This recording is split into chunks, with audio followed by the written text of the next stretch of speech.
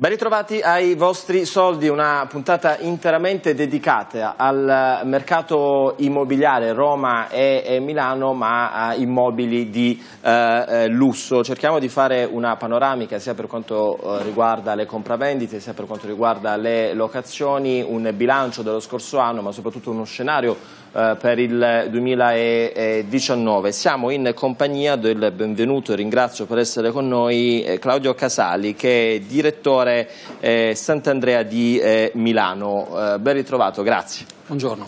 Allora, lei è eh, Head of Operation Sant'Andrea Luxury Houses, sarebbe diciamo, la divisione case di lusso di Gabetti, questo diciamo, per essere eh, per essere più precisi. Allora, ehm, voi avete diffuso qualche settimana fa un, eh, un, rapporto, uno studio proprio sul mercato immobiliare focalizzato su Milano e su eh, Roma, un mercato immobiliare, immobiliare delle case di lusso. Allora, io partirei subito, eh, abbiamo anche una grafica per capire quella che è la situazione, cioè cerchiamo di fare innanzitutto un bilancio del mercato dello scorso anno 2018 e poi capire quali sono le prospettive per quest'anno. Certo. Allora, per quanto riguarda il comparto immobiliare, delle compravendite immobiliari nella città di Milano, è la città che ha mostrato più dinamicità nell'ultimo semestre. Sostanzialmente ha confermato un trend che è già positivo da un paio d'anni, sia sul versante dei prezzi, leggermente positivi rispetto all'ultima rilevazione, sia sul versante del numero delle transazioni sicuramente più positivo e quindi conferma un dato di crescita. Quindi Milano è eh, in, questo, in, insomma, in, questo, momento la, eh, la, città dove si concentrano eh, maggiori, possibilità di, eh, maggiori, possibilità di, investimento. Allora eh, dovremmo avere anche una grafica quindi, di come sono andate le compravendite nel 2018 dove quindi su Milano c'è un mercato che è in aumento, a Roma è stabile. I prezzi, qual è la situazione sui prezzi? Allora, per quanto riguarda i prezzi, mentre su Roma c'è, come diceva, una certa stabilità eh, dovuta anche al fatto di una certa quantità di potenzialità forse inespresse, eh, Milano invece ha un'attenzione maggiore, un appeal maggiore anche e soprattutto da quello che è l'estero e di conseguenza il trend è maggiormente positivo, anche se di poco, raccoglie maggiori adesioni anche da parte dell'investitore che crede più in uno sviluppo e in una crescita dei prezzi milanese rispetto a quello romano. Riteniamo allo stesso tempo che Roma abbia, appunto per le potenzialità inespresse, la capacità di potersi riprendere anche a breve, nel momento in cui dovessero mettersi in campo quelle azioni di riqualificazione di un patrimonio che dal punto di vista architettonico decisamente non ha uguali sull'intero territorio italiano se non addirittura al mondo.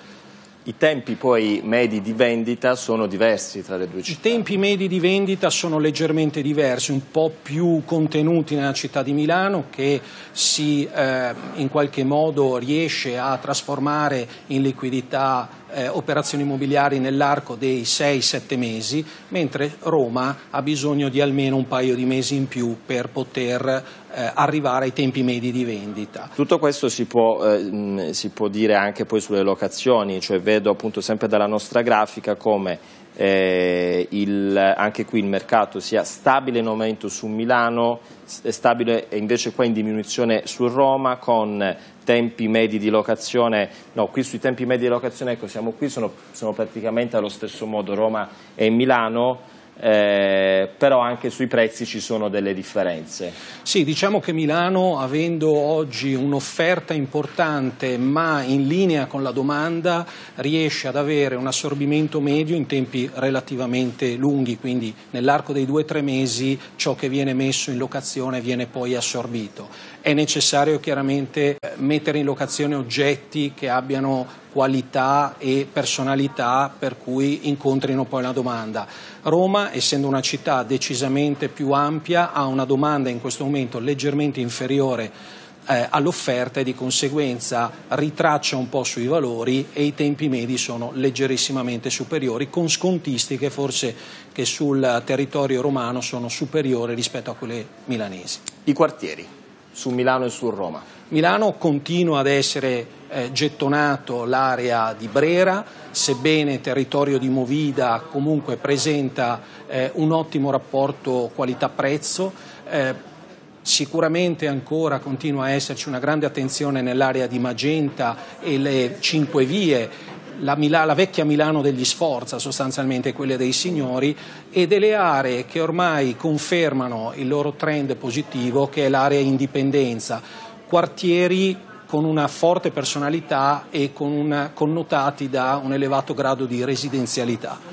Su Roma abbiamo assistito ad un incremento dei valori dell'attenzione nel quartiere Pinciano-Veneto, si confermano diciamo, quelli che sono i trend di Parioli e di centro storico, forse diciamo, le parti meno eh, interessanti in questo momento, per così dire, sono la parte di Trastevere e eh, Salaria.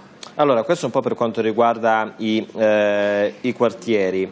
Ehm, poi c'è il quartiere, abbiamo detto quindi centro storico Brera, insomma diciamo, la parte centrale resta eh, sia su Milano che su Roma chiaramente quella eh, più eh, considerata eh, per quanto riguarda immobili di lusso. Eh, quali sono le caratteristiche che deve avere un immobile per definirsi di lusso?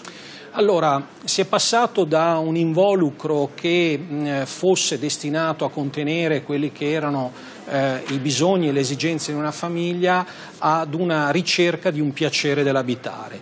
Eh, l'immobile di lusso deve avere una dimensione chiaramente in grado di garantire una certa funzionalità a diverse attività, soprattutto di una famiglia più o meno grande, deve avere linee architettoniche di un certo, eh, di un certo livello, quindi deve essere raffinato se vogliamo più che di lusso, deve essere esclusivo, sostanzialmente deve essere destinato ad un target eh, diciamo numericamente inferiore a, a, quello che è la normalità.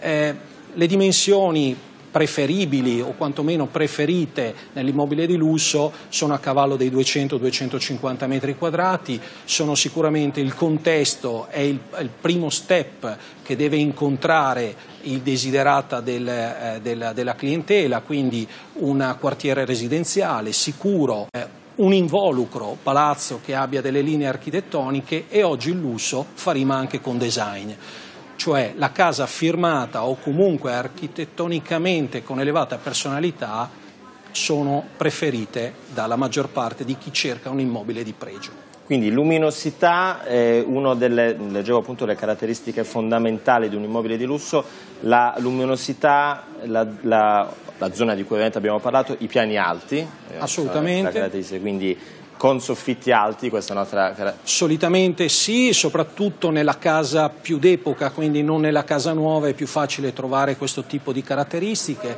La luminosità la fa un po' da padrona nell'ambito della, della ricerca del piacere dell'abitare e del comfort. Eh, fino a ieri le grandi vetrate erano sinonimo di freddo d'inverno e caldo d'estate, oggi il comfort climatico delle nuove tecnologie ci permette di poter garantire massima, il massimo comfort anche con le grandi vetrate. Qui stiamo vedendo una grafica dove ci sono gli elementi più importanti, troviamo il terrazzo ovviamente, il garage opposto auto, questo soprattutto beh, sia a Roma che a Milano immagino certo. che sia un, un elemento assolutamente. anche, anche, a Milano sebbene sia meno luminosa come città e meno soleggiata di Roma il terrazzo è un punto di forza sicuramente. Mm, no dicevo poi il, il garage opposto auto che chiaramente continuano a essere è, un punto il piano dell'abitazione le, queste e le caratteristiche della zona questo appunto eh, se, mh, mm, parlavamo dei, dei, quartieri e quindi eh, quelli che sono poi i servizi ovviamente che offre, che offre il quartiere quartiere, no? Immagino. Il quartiere deve essere a misura d'uomo, deve permettere di poter raggiungere qualsiasi tipo di servizio, deve essere completo nei servizi, deve permettere sostanzialmente anche, laddove possibile, il non utilizzo dell'automobile, deve essere sicuro, quindi presidiato, chi cerca qualità, raffinatezza vuole essere e vuole vivere in un ambiente sicuro e tranquillo.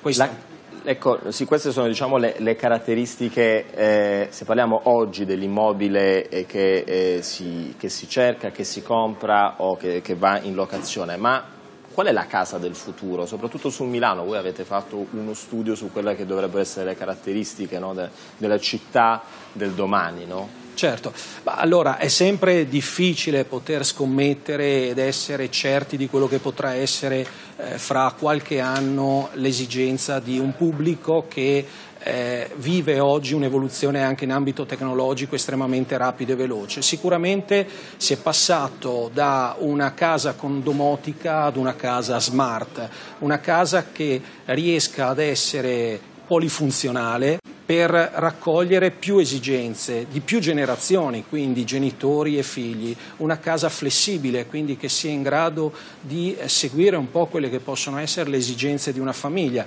una casa che sia in grado di contenere una famiglia e di far vivere durante la giornata nei diversi ambienti esigenze diverse, che sia ospitale e soprattutto che premi un po' quella che è la ricerca oggi di un must che è il discorso green, ovvero la possibilità di avere eventualmente degli eh, spazi, degli aggetti esterni che possono essere terrazzi, giardini o grandi balconi che opportunamente piantumati diano comunque una sensazione di verde, perché è molto apprezzato oggi anche nella città di Milano. Questo è sicuramente il trend e lo vediamo eh, declinato in diverse modalità, soprattutto nei nuovi sviluppi immobiliari.